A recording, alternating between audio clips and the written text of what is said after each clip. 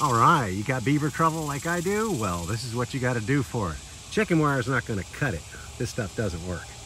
So you need to get something heavier duty than that chicken wire because I'll just pull it straight down as you see my beaver did. So what you'll need is you'll need to get welded wire. And I'll put that under the description there, the link for it. You're going to need to get some zip ties, some bolt cutters. I'll put that all in the description also. And some stakes if you really want to secure it to the ground because sometimes they'll lift it up to get in there to get to the tree. But usually they'll pull it down like that. But this is going to be hard for them, so they're going to go after it and try to lift it up. So I'm going to stake it down also. Okay, first thing you want to do is unroll your welded wire here and make it a circle as you unroll it to the about the size you wanted around the tree, which you wanted about a, a good six inches to a foot extra around it. You know, like this is the tree in the middle. You need this distance here from the edge of the tree, about six inches to a foot, because they're gonna push on it. They're gonna try to get in there, chew on the tree, no matter even if you put that up. So make sure you give yourself a good gap. Then you're gonna use your bolt cutters and just cut it.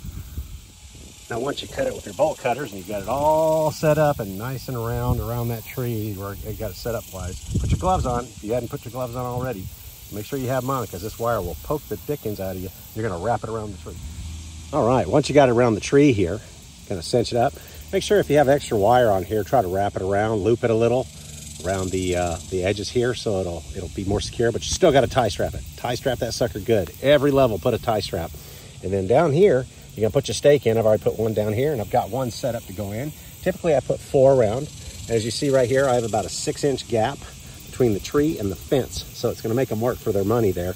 And if they get through that, then I'll make it a foot, you know, a foot wide. So I'll add another six inches. And you can just take this apart and put a link in between. And you can do it that way or cut yourself a new piece. Either way, it'll work. And keep these beavers out. But make sure you stake it to the ground. These guys are strong. And uh, don't mess with them either because they're territorial and they can actually kill you. So be, be leery around uh, beavers. They're pretty dangerous. But that's about it, folks. It's pretty easy. Just, you know, you need a hammer, some snippers, a bolt cutter, uh, some good, you know, welding wire uh, fence. And uh, that's that's pretty much it. And I'll leave the list there under the description. And you should be able to get this job done and keep your beavers under control. Good luck. God bless. Works for me.